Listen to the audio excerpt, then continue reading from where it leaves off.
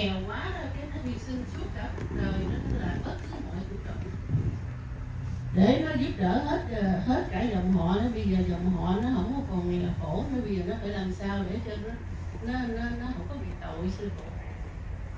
Ấy đã nghe chưa kịp nói lại Kêu con có một người bạn nó nhờ con hỏi sư phụ giùm. Ở Việt Nam trước gia đình dòng họ nó quá nghèo nó hy sinh suốt cả cuộc đời nó rồi à, để, để nó lo nó giúp đỡ qua, bên Mỹ này nó làm mọi cái gì cũng làm hết. Rồi không phải làm cướp ông trộm nhưng mà cũng như nó đẹp quá vậy nó đi, đi làm tiền mấy người đàn ông đó, rồi nó giúp đỡ cho gia đình dòng họ nó lên hết rồi hết nghèo khổ thì bây giờ nó muốn chuộc lại làm sao để nó nó nó chuộc lại những cái mà nó nó nó, nó làm tiền đó sư phụ con dẫn nó vô đây mà nó kêu mà mơ hỏi giùm sư nó khổ cỡ thiết kiều không nó đẹp lắm sư phụ. Thì cũng cỡ thiết kiều là dữ rồi. Cỡ đó chứ không. À, bữa nào dẫn tới đây. Để coi nó có tiền ở đâu. Tiền bị đỏ nó hay bị như vậy lắm dạ. Ừ. giúp hết đây chuyện không sao nhưng mà lên núi dạ phá mấy chục lần mấy chục baby đè nó. Lên núi là lại sám hối từ từ cũng hết. Nó phá nhiều lắm đó sư phụ. Thì biết cỡ nó còn đã phá nhiều rồi. Nó nói lại đây sợ người ta nhận ra. Nói nói riêng cho nên bữa trên kia về ám ảnh thấy trầu bá trời nít nó đứng xếp hàng lớp lớp. Hết đứa đệ tử này bỏ nhỏ đệ tử bỏ nhỏ. Được cho mà lên xe cua bớt đi hết luôn. Con dẫn nó lên đây mà nó không chịu nó kêu con hỏi nó cho sư đây là cũng là cái ngã. Mắc cỡ tự ái tự kỷ đều là cái ngã hết. Tất cả chẳng đây nói mấy đứa họ thiên trên thế giới mấy chục triệu người là và gần Hồ rất là bận nha. Khi mà ở mỗi hợp đông á mình phải tập trung tư tưởng để mình nói cái gì phải không? Chứ không phải mà giống như bình thường ờ, rồi cái chào cho phụ phụ huynh chào lại cái rẫy à. đó là là ai mà giận cho phụ người đó thiệt thòi gắn chịu á. Cái phụ từ bi không bao giờ giận ai. Nhưng mà đông quá không có để ý đứa nào á thì tự phải hiểu nha. À, mà đứa nào bị lơ á, là cũng phải tự tu cao nhiều một chút đã là sư phụ rồi thương hết ai cũng giống nhau nha. À, nhưng mà đông quá không có thể nào mà mình đừng có nói là tại sao. Phụ bữa nay không cười tôi. Trời ơi cười. Cái người kia vô cười. Người kia ra chào người cái xá xá lại thì thôi cứ ngồi chào cười xá chào cười xá suốt ngày luôn. Cũng không có đủ giờ để làm nữa hiểu chưa? Cho nên phải tự hiểu. Cười ra cười cái phải cười lại à. Đang đang hiểu không đó là trong gia đình rồi phải hiểu. Hiểu chưa? Cho nên cái nhiều đứa nó mới chưa biết. Rồi còn chào chào cái đứa nói hoài đợi mình chào lại cái chào lại là mình mất đi cái cái cái, cái câu chuyện đang nói hiểu không? Cứ ra được rồi không cần. Mà không cần thì nhiều lúc á, không có lễ nghĩa thì trời lúc nó không chịu tu á cái thật sự em không có chấp gì hết. Còn đứa đệ tử nào mà chấp mà cứ nói ra bữa nay nó bộ không cười tôi nó buồn quá nó là, là nhận như hộ là lỗ gắng chịu à. Như là không bây giờ làm sao mà là gặp được sư phụ cứ nói vậy? Thì đây nè mỗi lần thứ bảy đây nè đang gặp được. Rồi bây giờ người ta nghe hết không phải thì kêu nó xuống địa ngục chừng vài chục vòng đi rồi nó gặp. Mệt quá. Hồi nãy đọc cái kia rồi hồi nãy đã nói rồi sấm cơ công, kinh công giáo cũng nói, thời nay ai mà gặp được chuyện là người đó có đại phước đúng không? Mà người Á Châu không nhận ra ngài, mà người Mỹ lại nhận ra ngài là là cái câu của tiên tri nọt Smith ông nọt Smith cũng nói là vì mình có thiên long sơn ở Mỹ mình có thiên long giang. Hôm nay chuyện lớn lên ở Mỹ là người Mỹ nhận ra được mình. Cái đạo thiên tâm thành lập ở Mỹ mà người Á Châu không nhận ra. Trong, hồi nãy là mình đọc mấy cái đó là sấm cơ tiên tri mà mà cái này từ thời năm 1995 những những cái người mà họ chuyên viên về nghiên cứu về à, kinh điển thần thông đó, họ viết ra chứ phải mới viết cái này đâu. Đây là kêu nó xuống địa ngục đây là từ từ gặp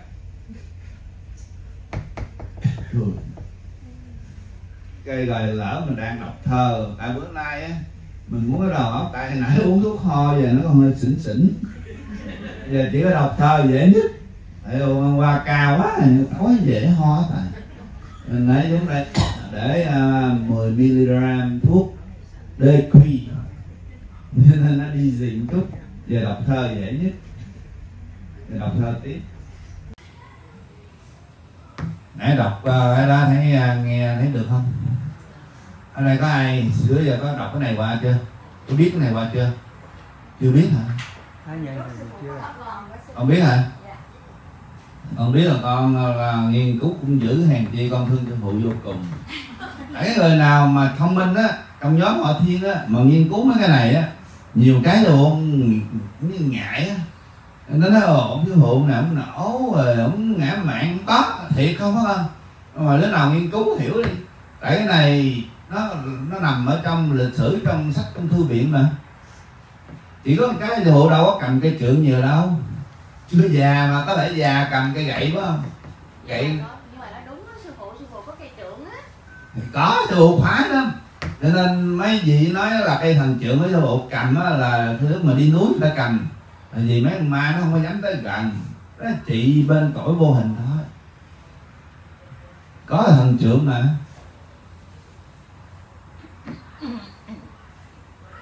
Nhưng mà hồi thời xưa ông Nostradamus ổng đã biết được thời nay nó như vậy. Ổng viết sách như vậy.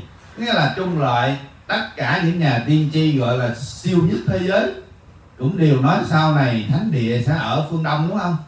Và người mà đấng cứu rỗi là phương đông, đúng không? Thì là đúng hết. Và một cái đạo mới là đời phương đông, đúng không? Ừ. Rồi cái người đó sanh ra ở phương đông nhưng mà lưu lạc ở phương tây, đúng không? Ờ. Chứ, thì trong kinh của chúa kinh khải quyền cũng có nói yên vậy. Chỉ có một cái là bây giờ mình mới nói tại sao mấy ông không nghiên cứu là mấy ông công giáo. Ông nghiên cứu là bảo đảm giật mình á nó không phải hãnh diện. Nhưng mà thật sự cái ngã của con người nó lớn ghê đó không thể nào thôi cho qua lớp bọt cháo này. Hết bỏ.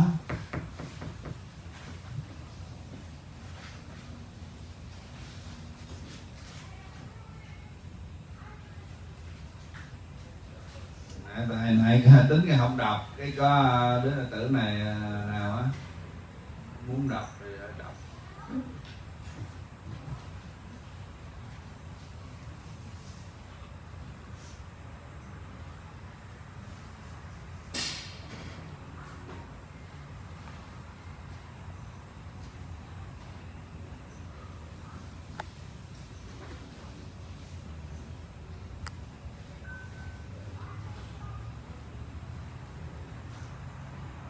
ai hỏi gì cứ hỏi gì Dạ con con hỏi sư phụ con hỏi giùm người bạn của con á nó giờ con hỏi giùm á hỏi gì ở Việt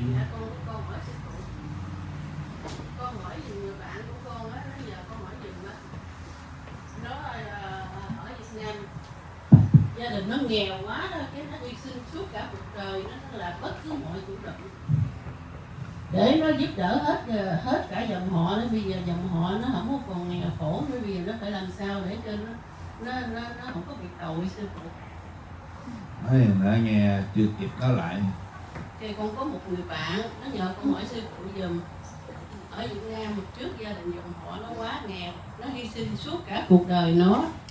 Rồi à, để nó lo nó giúp đỡ qua bên Mỹ này nó làm mọi cái gì cũng làm hết không phải làm cướp con trộm nhưng mà cũng như nó đẹp quá vậy đó. Đi, đi làm tiền mấy thằng đàn ông á, rồi nó giúp đỡ cho gia đình dòng họ nó lên hết rồi. Hết nghèo khổ thì bây giờ nó muốn chuộc lại làm sao để nó nó nó chuộc lại những cái mà nó nó nó, nó là tiền đó sư phụ. Con ờ, dẫn nó vô đây mà nó kêu con làm ơn hỏi giùm sư phụ. Nó khổ cỡ thiết kiều không? Nó đẹp lắm sư phụ. Cũng cỡ thiết kiều là dữ rồi. Cỡ đó chứ không à, bữa nào dẫn tới đây?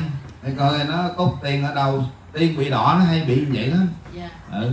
hết cả không sao nhưng mà lên núi đi dạ, phá mấy chục lần mấy chục baby đè nó lên núi là lại sám hối từ từ cũng hết. Nó phá nhiều lắm đó sư thì biết cỡ đó là phải phá nhiều rồi.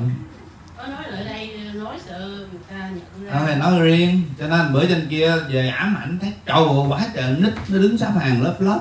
Hết đứa đệ tử này bỏ nhỏ rồi cứ bỏ nhỏ. Được cho mà lên xe cua bus đi hết luôn. Con dẫn nó lên đây mà nó không chịu nó kêu con hỏi nó cho sư đây cũng là cái ngã mắc cỡ tự ái tự kỷ đều là cái ngã hết.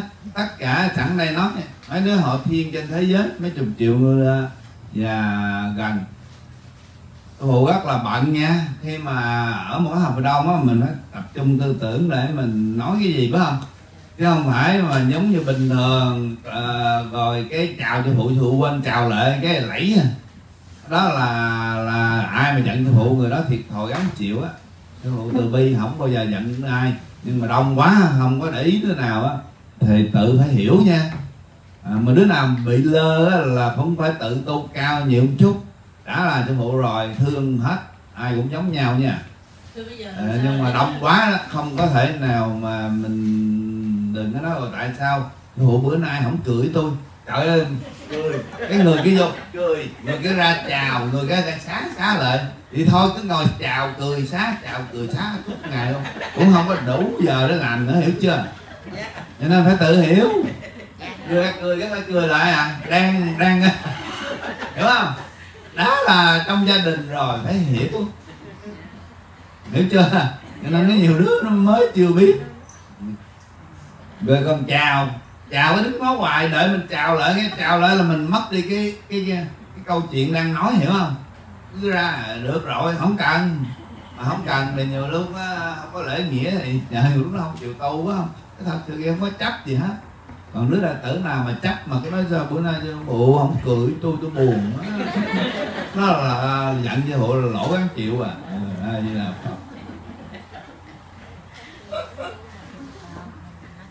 bây giờ làm sao mà mà gặp được sư phụ với nó vậy? Thì đây nè mỗi lần thứ bảy đây nè đang gặp được. Rồi bây giờ người ta nghe hết không phải thì kêu nó xuống địa ngục chừng vài chục vòng đi rồi lên gặp. Mệt quá. Hồi nãy đọc cái kia rồi hồi nãy đã nói rồi. Sấm cơ trong kinh công giáo cũng nói thời nay ai mà gặp được việc là người đó có đại phước đúng không? Mà người Á Châu không nhận ra ngài mà người Mỹ là nhận ra ngài là là cái câu của tiên tri nột Smith ông nột Smith ông nói là vì mình có thiên long sơn, Mỹ mình có thiên long giang. Hôm nay việc lớn lên ở Mỹ, là người Mỹ nhận ra được mình. Cái đạo thiên tâm thành lập ở Mỹ. Mà người Á Châu không nhận ra. Trong, hồi nãy là mình đọc mấy cái đó là sấm cơ tiên tri mà. Mà cái này từ thời năm 1995 những những cái người mà họ chuyên viên về nghiên cứu về à, kinh điển thần thông đó, họ viết ra chứ không phải mới viết cái này đâu rồi, rồi kêu nó xuống địa ngục đi rồi từ từ gặp rồi cái rồi lỡ mình đang đọc thơ. Tại bữa nay á mình muốn cái đầu óc tại hồi nãy nó uống thuốc ho giờ nó còn hơi xỉn xỉn. Giờ chỉ có đọc thơ dễ nhất. Tại vì con cao quá nhưng tối dễ ho hết à. Mình nãy giống đây để uh, 10 mg thuốc DQ cho nên nó đi dịn chút. Giờ đọc thơ dễ nhất giờ đọc thơ tiếp.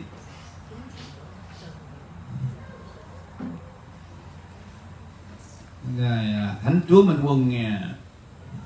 Kể từ 9 năm, kể từ 9.000 năm trước thượng đế và cộng đồng chư Phật, chư thiên, chư thánh, chư thần đã sắp đặt một cuộc chuyển đổi thế gian vào thời kỳ ba kỳ ba đây cũng chính là ba ngàn năm cuối của một đại quân chín ngàn năm. Cho nên việc chuẩn bị đã được tính toán kỹ càng. Không một mảy may sai chệch. Rất phù hợp khi ba năm cuối cùng của thời mạt pháp. Một vị đại bồ tát cũng đã được thượng đế cho đầu thai xuống thế làm người do sự sắp đặt chúa toàn nên vị thánh chúa minh quân cũng phải mang thân như một người thường và cũng phải mượn một phương pháp của thượng đế để khai mở vào thời kỳ hạ quân mạt pháp. Và ngài, và ngài cũng phải rốt ráo công phu luyện đạo để trở nên đắc pháp và giác ngộ. Rồi chờ mấy chục năm qua cho đến ba năm cuối cùng khi thiên ờ, thiên cơ tàn phá thế gian vào các năm 2017, 2018, 2019 sẽ dần dần lộ diện. Ngài chính thức xuất hiện vào những năm 2017, 2018, 2019 để thực thi thiên mệnh vô cùng quan trọng và vĩ đại mà thượng đế giao phó cho ngài nơi trần hạ và phải chịu khổ một cách cùng cực. Ngài cũng phải du hành nhiều nơi trên quả địa cầu. Ngài luôn sống, lăn lộn vào cõi hồng trần để cùng thấy, cùng biết, cùng chịu khổ, chịu đau với muôn người cùng khổ cho nên mọi việc thế gian không một việc gì ngài không từng trải qua. Do sự đi sát với mọi người như thế, nên ngài đều tường tận. Kẻ tốt, người xấu. Và dĩ nhiên tất cả mọi bước chân của ngài đi đến đâu đều với sự quan chiếu của cộng đồng chư Phật, chư thiên, chư thánh, chư thần bảo vệ trong vô hình chính vì vị thánh chúa minh quân là người việt nam nên mới có những cuộc dọn đường khai mở đạo pháp của phật thầy tây an của ông sư giải bán khoai của đức bổn sư của đức phật trùm của ông thanh sĩ của học giả hồ hữu tường. À, và nhất là đức ngôn minh chiêu sáng lập đạo cao đài à, tam kỳ phổ độ hầu rao giảng về một thánh chúa minh quân về hội long hoa. Và đức phật di lạc ra đời thiết tưởng những công cuộc mở đường ấy chỉ với mục đích đưa loài người, nhất là việt nam, chúng ta chuẩn bị đón chờ ngày vinh quang cho việt nam cùng toàn thể mọi người trên thế giới. Trước đó vào thế kỷ thứ 16, Việt Nam có nhà tiên tri Trạng Trình Nguyễn Bỉnh Khiêm cho biết rất cụ thể như sau. 500 năm một vị Thánh Chúa Minh Quân sẽ xuất hiện đến. Vị Thánh Chúa ấy hiển nhiên sẽ là người Việt Nam. Ngài sẽ cầm cân nảy mực thế gian này nhất là đưa nước Việt tới rạng ngời trên thế giới về tất cả mọi mặt, nhất là về mặt tâm linh. Lược lại một số câu sấm của trạng trình. Nguyễn Bỉnh Kim một cơn sấm dậy đất bằng thánh nhân ra cứu một cơn sấm dậy đất bằng thánh nhân ra mới cứu hàng sinh linh. Lược thao văn võ tài tình, mới hay phú quý, hiển vinh lạ lùng phải có một cuộc biến thiên, biến địa vào đầu thế kỷ 21 và cụ có thể, và cụ thể nhất là 3 năm. Của năm 2009 kỷ sửu giáp dần 20 kỷ mẹo 211 cuộc chuyển đổi Long trời lỡ đất, cho nên mới gọi là cơn sấm dậy đất bằng. Với sự hiểu biết của mọi người thiết nghĩ không cần phải khai giải nhiều về câu này, vì ai ai cũng hiểu sấm dậy đất bằng sẽ như thế nào. Rồi, thánh nhân ra mới cứu hàng sinh linh. Sinh linh đang đồn hán, đang chán trường vì thời cùng tận nhiễu nhưng cho nên khi thánh nhân ra lúc ấy, thế gian này loài người này mới được cứu rỗi, dĩ nhiên thánh nhân chỉ xuất hiện sau một cơn sóng dậy đất bằng. Và sinh linh đồ tháng mới cần đến bàn tay của ngài đưa thế giới loài người đến an bình bởi qua tài đức của ngài như cụ trạng trình nguyễn bỉnh khiêm cho biết lượt thao văn võ tài tình. Mới hay phú quý, hiển vinh lạ lùng. Khi trạng trình cho biết về tài đức của thánh chúa lượt thao văn võ văn như nghiêu thuấn, trí như cao quan võ như hán đế. Tài văn võ của ngài song toàn mới đem con người đến phú quý hiện vinh lạ lùng. Mời độc giả đọc tiếp những câu sấm sau đây.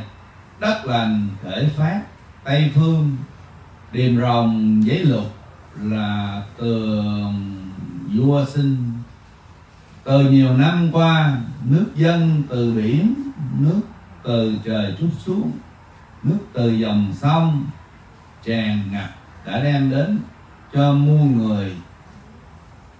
Biết thế nào cái gọi là điềm rồng giấy lên lục lọi ngay trong lòng thủ đô Hà Nội. Lục tràn ngập khắp thành phố Sài Gòn ở các thành phố này chưa bao giờ có hiện tượng ngập lụt như những năm vừa qua, nhất là năm 2007 08 hiện nay là chính lục loại như thế. Có thể chứng minh câu điềm rồng với lục là tường vua sinh hay không? Câu ông trần là bậc thánh minh, lạc ra hải ngoại, ẩn mình nơi nào?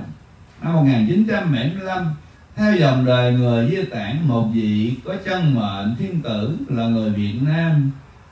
Xuống thế độ đời, cũng phải nổi trói theo dòng người Việt Nam di tản cho nên mới có cuộc di tản và sau này vượt biên, vượt biển, vĩ đại nhất toàn cầu. Bởi toàn thể mọi người đã đi mà không cần đến hộ chiếu hay thông hành thế nhưng lại được thế giới đón nhận và ân cần chăm sóc.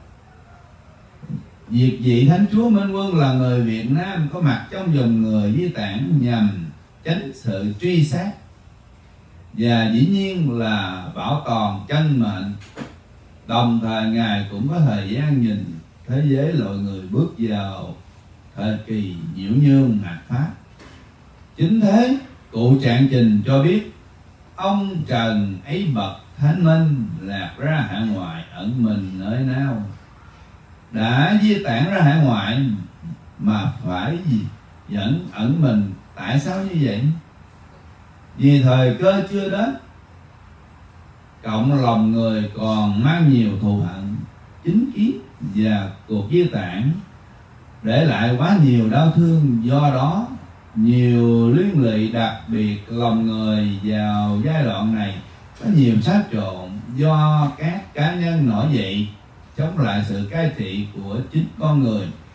Cho nên vị thánh chúa minh quân mới phải ẩn dật để bảo toàn tấm thân, đồng thời bảo mật chờ đợi ngày thiên cơ thanh lọc trần thế hoàn thảo lúc đó ngài sẽ xuất hiện kịp thời ứng phó với thời thế sau năm 2021 bây giờ chúng ta theo dõi tiếp câu, phá đồng mới chịu ngôi sao, ngôi cao, phá đồng mới chịu ngôi cao. Năm kỷ tức là năm con trâu muốn phá đồng cài ruộng phải nhờ đến xích trâu để chuẩn bị cho việc phá đồng. Việc phá đồng này nói lên lúc hoàn cầu phải đổi thay cho nên phải vào mùa bầu cử năm 2028 còn nước Mỹ là mọi người trên thế giới mới chứng kiến cuộc bầu cử. Vô tiền phán hậu một cuộc đổi thay làm ngơ ngẩn toàn à, thể dân chúng Mỹ. Và nhất là làm chỉnh sờ nhân loại khi một vị ứng cử gốc châu Phi. Ở này, bỏ qua khúc này. Đây là một nhắc nhở thượng đế, cũng là một chuẩn bị cho sự xuất hiện của một thánh chúa minh quân xuất hiện nhờ năm 221 là đúng với thiên cơ đã an bài vậy. Bây giờ thiên hạ rủ nhau tìm về, cùng nhau bình trị bốn bề nước nam lại đổi quốc kỳ việt nam. Bây giờ thiên hạ rủ nhau tìm về, cùng nhau bình trị bốn bề, nước nam lại đổi quốc kỳ việt nam.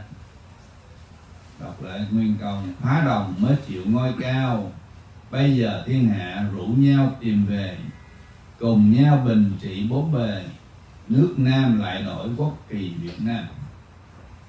Làm sao mà không tìm về cho được. Vì sao khi đất trời đổi thay đến tận cùng muôn loại, đổi thay toàn thể con người đen tối hiện giờ thành những người thức tâm, tỉnh trí. Rồi do vậy mà con người hiểu biết ra, chỉ còn biết chờ đợi sau sự biến thiên, biến địa, biến khí, biến người. Đến khi ấy, sự chờ đợi vị thánh nhân thánh chúa minh quân đã chín mùi cho nên rầm rộ, tìm đến theo ngài với những câu sắm của cụ trạng trình. Thật sự tất cả mọi người việt nam khi ấy sẽ cùng với ngài bình trị bốn bề để đưa đến việc nước việt nam đổi quốc kỳ việt nam, đưa việt nam và nhân loại cùng tiến bước vào đời sống tân dân minh đức mở ra một kỷ nguyên hòa bình vĩnh cửu nơi trần thế, cũng nhằm mở đường cho vị thánh chúa minh quân là người việt nam xuất hiện đúng lúc, đúng giờ, đúng thời điểm. Nên thượng đế đã cho nhiều vị Phật ra đời ở miền Nam Việt Nam vào thế kỷ thứ 18 cho đến thế kỷ 20 Đại hội Long Hoa sau khi à, mở Đại hội Long Hoa mới có Phật Vương Di Lạc thuyết pháp bằng điển quang hào quang sáng chói. Hoặc là từ trường dưới cội Long Hoa vậy. Người ấy còn đang trong dòng bí mật thiên cơ. Chỉ đến khi sự đổi thay trong 3 năm cuối cùng của thời mạt pháp thì ấy mới sẽ tiếp nhận được. Thực uh, thi chuyện hành pháp ở thế gian này. Nay có tất cả hầu như đã an bài theo luật định mà thực hành đều phải ra lãnh lệnh để làm việc cho một thế giới an bình một nước Việt Nam trở thành thánh địa của nhân loại và nhất là vị thánh chúa minh quân lãnh đạo nước Việt vào thế giới, và thế giới nói chung kể từ năm 2022 đừng quên chính con người từng tiến bộ cho đến ngày hôm nay việc phát triển tột cùng của khoa học kỹ thuật vật chất, khoa học điện tử, khoa học vật lý, hóa chất, khoa học không gian vũ trụ khoa học nguyên tử hạt nhân chính những khoa học ấy là hậu quả dẫn con người đi vào sụp đổ như ngày nay để rồi sự sụp đổ tận cùng. Vào năm 2017, 18, 19 nên mới có sự thay đổi tận cùng vậy.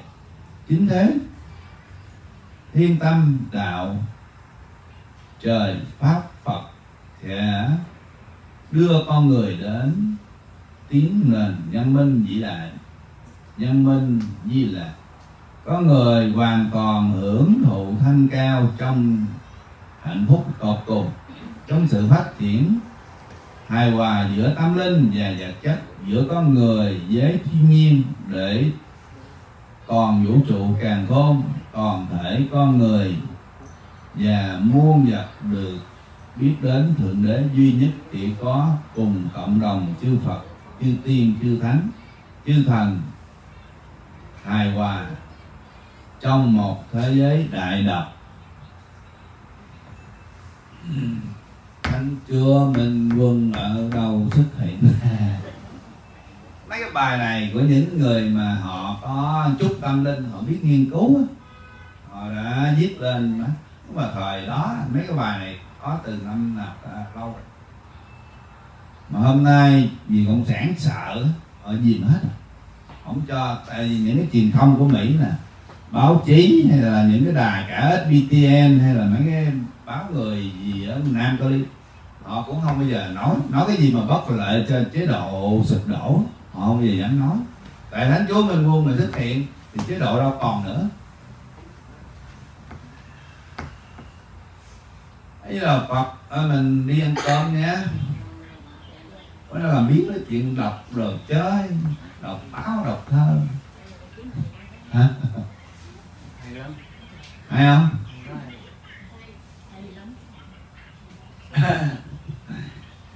Đó là ít đó. tại vì à, còn nhiều lắm. Mà người mỹ mà mấy cái người mà gọi là học thần học của công giáo đó họ lúc nào họ cũng tin kinh khải quyền đó họ cũng tin là chúa giêsu họ trở lại mà giờ bữa các giờ họ tin cái mỏi cổ không thấy. Họ chỉ thấy có làm việt nam tờ chót tờ chót trên mạng khùng. Thấy tượng thì lại thấy mặt thì chửi. Đó là trong năm thứ là vậy mình hay nói là vậy. Thấy tượng thì, thì lại mỏ mỏ mỏ chúa ơi chúa xuất hiện mà thấy mặt đó họ chửi. Bây giờ Phật mà ăn cơm á bà con đói bụng quá.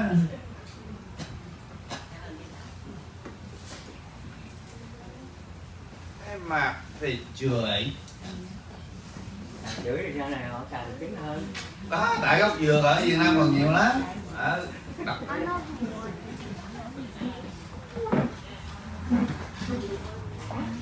rồi ra kiếm à, ra chơi con. Con máy làm phim đi con con.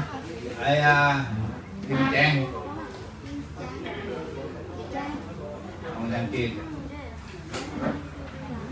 đây đây lên chút bây giờ nãy giờ ngồi cái tử chinh ta hay là tử đang đâu vậy con?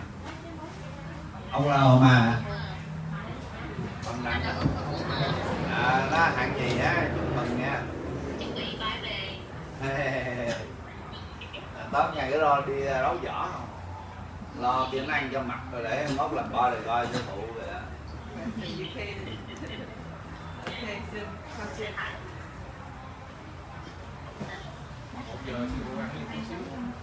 rồi chút nữa là nó đang tê chân Alright, I have to talk to him. Talk to him. Đây, còn.